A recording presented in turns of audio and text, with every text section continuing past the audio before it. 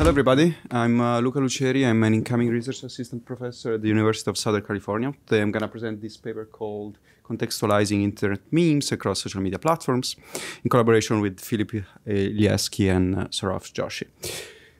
Uh, what is an internet meme? Well, I don't think I need to clarify this in this room, uh, but I really like this definition from Davison, 2012, defining a meme as a piece of culture uh, which gains influence through online transmission, uh, typically with a joke. And uh, these are taken basically from an image or a video that basically uh, represent a stereotypical situation, often ironically.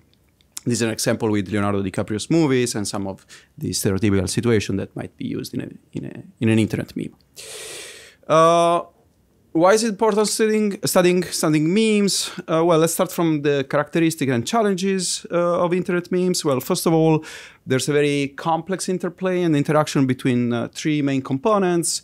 Uh, the linguistic components, that is the textual content in a meme, the visual component, and uh, common sense, our common sense. Without any of these three components, it's quite difficult, if not impossible, to, to probably understand a meme.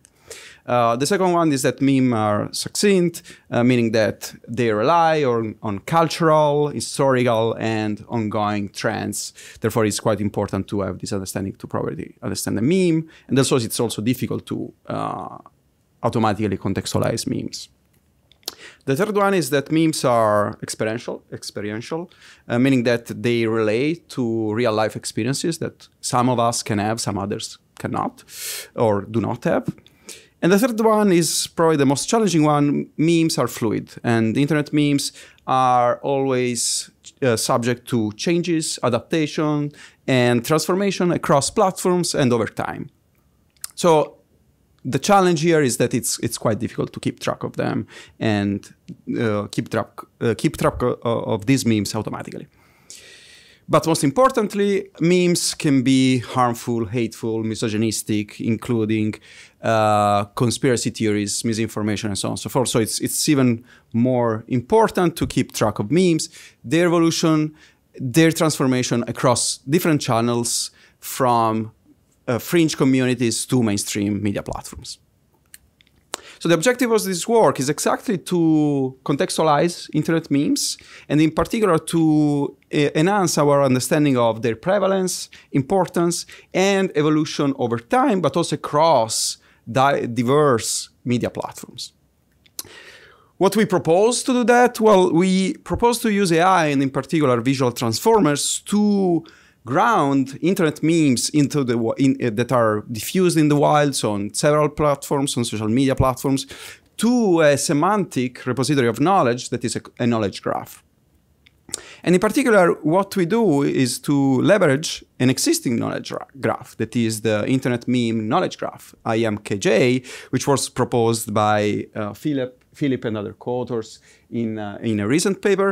And basically, this is a, a database that includes memes, encyclopedias, uh, memes templates, uh, memes, uh, uh, the, the, the um, original media frame of a meme, uh, the um, instances of these memes diffused on, on several social media platforms.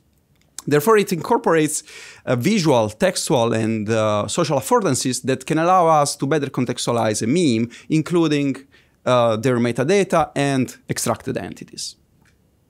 Therefore, we will leverage IMKG and uh, um, we incorporate IMKG in this pipeline, which basically consists of three steps, starting from the identification of channels and data and social media platforms from which we can extract data and potentially interesting memes to study. Uh, for uh, this preliminary work, we started with two uh, social media platforms, Reddit and Discord, uh, given their prominence in, in social media, in, in internet memes diffusion. Uh, the second step is to extract uh, memes, inter potentially interesting internet memes and candidate memes. Uh, we utilize a variety of tools uh, to automatically extract social media posts, images within this post, and memes within the set of images that we extracted to form a data lake consisting of candidate memes. Now, in the third and final step, what we do with these candidate memes is to use a visual transformer to align the um, low-dimensional representation of these candidate memes to the memes that we have in our knowledge graph, the IMKG, and we use the FAISS index to um, to identify this matching and to ground our internet memes to, to the knowledge graph. Therefore, the final output is a, is a set of memes of interest that uh, we have knowledge about and we have characteristics from the knowledge graph. So, um, starting uh, fr from uh, from uh, we start the analysis from uh, the um, channels and, and subreddits, uh, respectively from from Discord and Reddit, where we find most uh, memes, and in particular the uh, subreddit with the highest number of, of memes is our memes, uh, with more than 50% of memes our, within our set. And the dungeon is the uh, most prominent channel on Discord with, with most than 50% of, of uh, memes within, within this dataset that we collected. Um, we characterize these memes and uh, we try to understand the what are the most prevalent memes within these two platforms, finding an interesting overlap within Reddit uh, between Reddit and, and, Discord. And in particular, we found we, we, have found that the top three are in common, and uh, these are Drake Hotline Bling, Press Button Hard Choice, and Afraid to Ask Andy. If you are not aware of these, as I was, uh, this is a representation of, of these three uh, most popular memes. Uh, it's, it's interesting to note how the, um, the first column represents our knowledge from the knowledge graph. So these are, this is our anchor point where we connect all the memes that we found in uh, uh, Reddit and Discord. And you can notice that there are variation of these memes, there are adaptation across different platforms, and this is to show the potential of this tool that we are building to keep track of the evolution, not only over time, but across platforms and the variation of memes across platforms.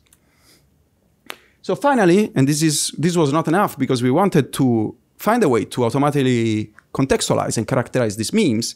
And therefore, this is when this is where the knowledge graph and the IMKG uh, allows us to get a larger understanding and then more information about memes. And in particular, you can see, probably you cannot see because it's very small, but the idea here, and, and you can refer to the paper for, for more details, but the main idea here is that we can use the entities of this knowledge graph. We can use these entities not only to characterize memes, uh, that we found on Reddit and Discord, but to compare them to existing internet memes that we have already in our knowledge graph, because this knowledge graph contains not only information about the template, the original media frame, and some other information such as the origin of this of this of this meme, uh, the um, description of the meme itself, and uh, information from other knowledge graph that I forgot to mention before.